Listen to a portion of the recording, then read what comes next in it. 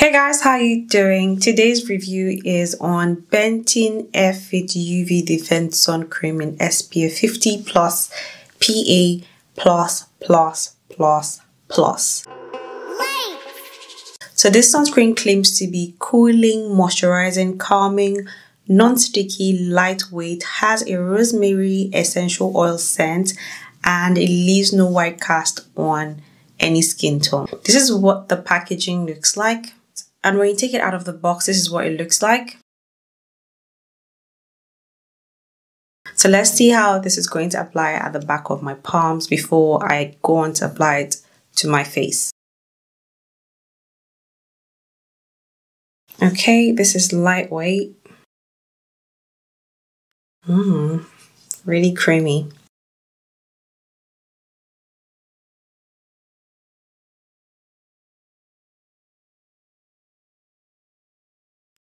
This is cooling, I must say. And I can see a slight purple tint on the back of my palm. Can you guys see anything? So with sunscreen and without sunscreen, do you see a difference? Let me know in the comment section. So it's time to apply it on my face. I have my measuring spoon here. Links to purchase this will be in the description box as well as the sunscreen. Full I don't know if you guys can see the color of the sunscreen. It has a mint green color. I find it cute.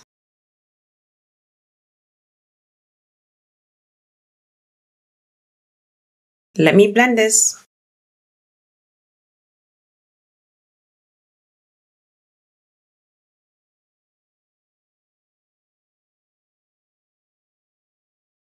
So I'm going to let that sink in, then I'll come back to blend. Let me just take a tad bit for my neck area. This time I won't use a spoon, I'll just eyeball it. I'm going with this much. So for the front and the back.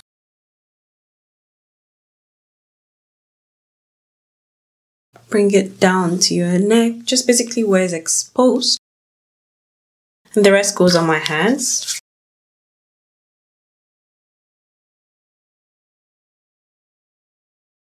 Then I'll blend this one in again.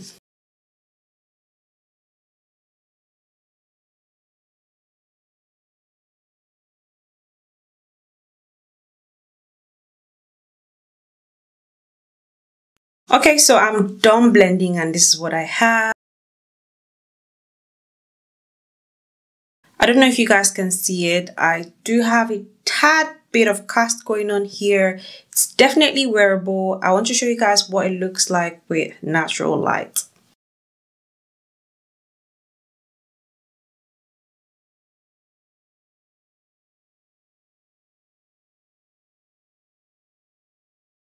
So you just saw what my face looks like with natural light. The cast is not obvious whatsoever, but it's there. So if you're like deeper than I am, you may, you know, see a slight purple tint on your skin, but it's totally wearable in my opinion.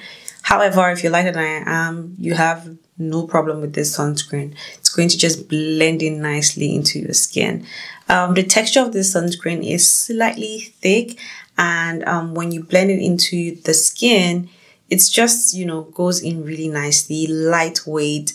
It's cooling, calming at the same time and moisturizing. I really do like the color of the sunscreen. I like how it feels. Weirdly, I like the cooling sensation, but you just have to be careful so this doesn't get around your eye area. It could sting your eyes. It's not stinging my eyes right now, but you know, just be careful. I like the finish it leaves my skin. There's a glow to it. It's not shiny or greasy whatsoever. So all skin types can use this and feel comfortable in it. It's giving me that Tocobo vibe. Um, that's the Tocobo Bio Watery Sunscreen. I'm getting the same vibe in terms of the shine. In my opinion, it's not the same feeling on the skin, but in terms of the shine it gives or the glow, um, I'm getting about the same thing. It's wearable. I'm going to see how this is going to look like when I try to reapply it in two hours, which I'll show you guys.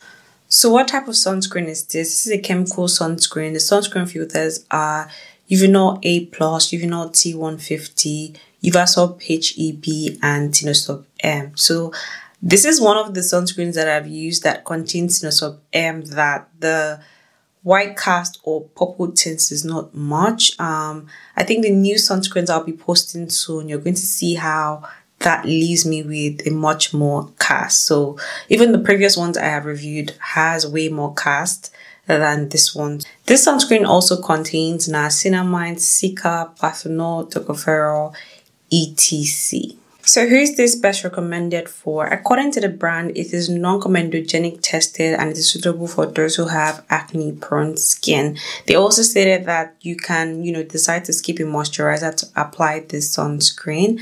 I feel like you're trying to say this is for all skin types. So if you have oily skin, you can actually skip a moisturizer and apply this. But I really want to see what the reapplication will be like that would determine if I would recommend this for those who have oily skin or just stick to those who have normal to dry skin as well as combination skin. So this sunscreen retails for $21 for 50 ml. I got mine for $9. Links to purchases will be in the description box. You guys know I always give you like the cheapest places to get sunscreen. So make sure you shop through the link. I do make it tiny bit of commission when you shop through the link. So thank you in advance as you support me. Does this contain fragrance? This smells like um it smells like close up herbal toothpaste. Yeah, that exact herbalness, you know, mint and herbal at the same time. That's what I get when I smell this. Does this sting the eyes? It may likely sting you because of how minty it is, but I have, you know, done this and nothing has occurred. So just bear in mind because of how minty it is, it could sting or if it gets into your eyes, it could burn. Okay. So I'm going to have to leave now and I'll be back in two hours to show you guys what my face looks like and reapply before I give you guys my final thoughts. So guys, I am back. It's been about two hours, 10 minutes, and here's what my face looks like. I don't know how obvious it is, but I'm much more shiny on my forehead, nose area, and my cheeks. Also, this has settled into my necklines. Can you guys see it? So how do I reapply sunscreens? When I'm indoors or outdoors, I will, you know, dab my face with paper towel, put on a spray sunscreen, or go on with, you know, the cream sunscreen. I actually use more spray sunscreens when I'm out, mainly because I don't want to have to like, you know, rub anything with my palms. And for that sake, I use a La Roche-Posay um, face mist. So right here, my hands are clean. I'm going to use this paper towel to dab any excess shine. And you guys will actually see what I mean. Starting off with this side. So the shine on this area is gone as opposed to here.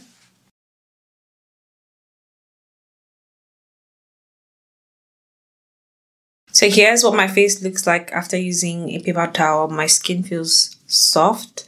I'm just going to go in with the sunscreen and um, I have my spoon here. Normally when I'm out, I don't, you know, use the spoon. I just eyeball it and apply.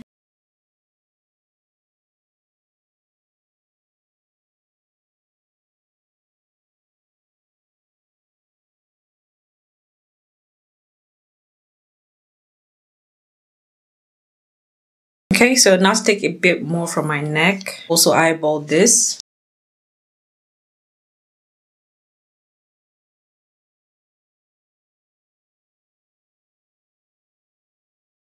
This is what I look like after reapplication. And there's a tad bit of cast like, you know, before. Um, it's a little more than before, to be honest, because I can, you know, really see what it looks like. Maybe I should take you guys outside to see what it looks like. Oily skin, you may just be like on the fence.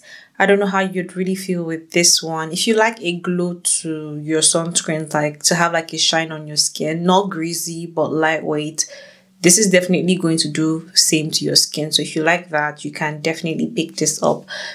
Overall, I recommend this to those who have normal to dry skin as well as combination skin because I do have a combination skin and I don't mind the shiny leaves my skin even now. But I feel like if I actually go out when it's really, really sunny, this may be a lot more, should I say, shiny on my skin as opposed to what I have right now. It's hot, but I'm indoors.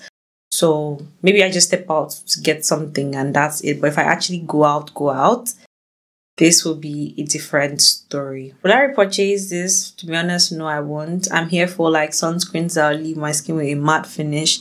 But I'm happy I have all these ones, mainly because I'll use them for, you know, winter. I really like, you know, my skincare that I use in winter to be a lot more moisturizing. So I don't really have a problem with it right now.